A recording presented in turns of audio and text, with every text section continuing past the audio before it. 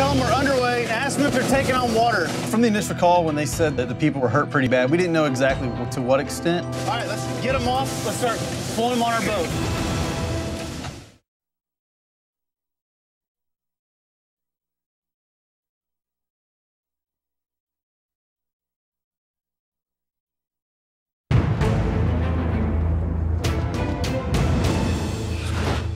Coast Guard Cape Disappointment. This is a Sun Secret. We have run aground, and I have a couple of injuries.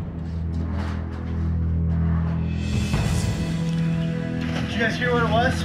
Uh, yeah, they ran aground at Dayboard 6. BM1 Todd Gormley from Station Cape Disappointment. Got a call this morning that a 36-foot wreck vessel had run aground in the Ilwaco Channel.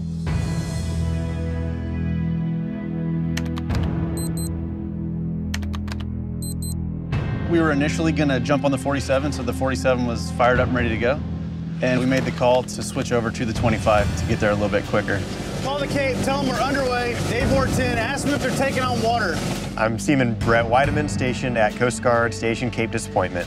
We definitely uh, have a lot of places where boats can get in trouble. They can run aground. When these boats head out, they might not be thinking about sticking to one side of the channel because it's low tide. Cape 5 out of 6, we're underway. We're about 200 yards from being on scene. Over. All right, let's get them off. Let's start pulling them on our boat. Get somebody to the bow, somebody to the stern. All right. From the initial call, when they said that, uh, that the people were, were hurt pretty bad, we didn't know exactly to what extent. Who's injured? We're gonna come along. Yeah, we're, we're showing zero feet of water under us, so yeah.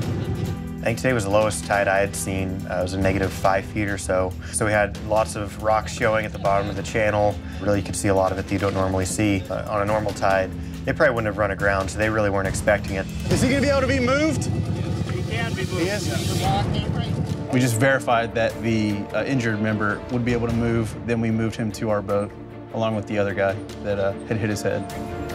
We can take him on the bow. The man with the injured ribs was definitely, uh, you could tell, in some pain. We just wanted to get him off as soon as possible, as soon as they were able to move, because time does play a difference in something like this, and the quicker you can get him to a qualified, you know, paramedic or uh, medical professional, the better. You hurt your back? My left ribs. The gentleman that sat down with the rib injuries, he seemed to be in a lot of pain.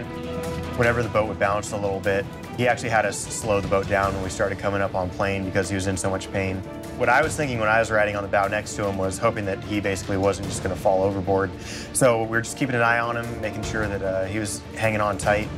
And uh, as for the other gentleman who had a head injury, he said he was feeling a little better once we got him onto our boat. 232-556. I've got the two uh, injured crew members. Uh, if you wouldn't mind just coming out and uh, just making sure that these guys are able to keep going. I just want to get these two guys back as quick as possible. Over. Yeah, roger that. We're on our way. We'll see what we can do. After we got the two uh, individuals on our boat, it was time to start thinking about, you know, towing the other boat back or making sure that they could get back under their own power. They're off the beach right now. They're making their way towards us. Roger that. All right, there's the boat. We're gonna have the uh, vessel follow us to the station, dock at the transient pier, and then we're gonna uh, conduct a, a post-SAR. So they're, they're coming back to the dock with us. They're right behind us right now. We picked the two injured crew members up. We're taking them to the pier right now. Our EMTs are on scene, so we're just gonna tie up real quick and uh, let the paramedics take care of these gentlemen.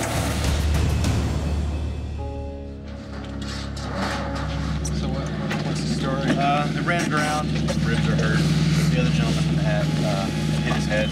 What I'm most worried about is impossible internal bleeding. I'm out there. Brett, as soon as we get this blood pressure, we'll get you moving, all right? What's that?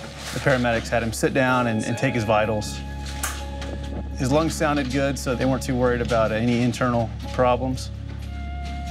And he was able to walk off, you know, by himself. I knew it was hot, but I didn't think they needed to send the fire department. Well, yeah, we're gonna hose you down here in a minute. It was really great to be able to help just people this time. We always kind of get wrapped up in towing a boat and, and moving uh, equipment, but you don't always get that effect on, uh, on actually helping a person. So it was really good because we got to uh, possibly saving somebody's life today.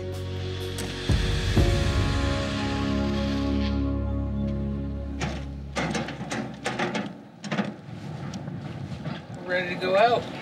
You're ready to go out, but I don't think Emery's good to go, and the boat's not good to go. Emery, you got a little more color than you had earlier. Feel a little better? Can I jump on you and whoop you now? Sure. My name's Emery Ingham. I'm 57 and we're fishing on the Sunseeker. I was standing in the, um, I think they call it the salon.